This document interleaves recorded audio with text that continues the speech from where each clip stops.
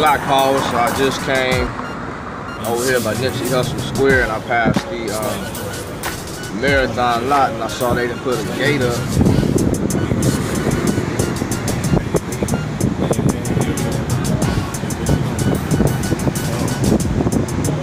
Not exactly sure what that's about.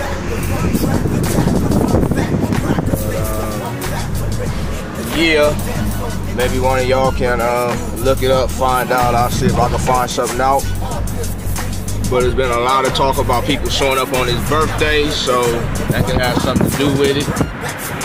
City don't want that to happen. Uh, supposedly the family put out word they don't want it to happen. Let me know what's up. Black Power.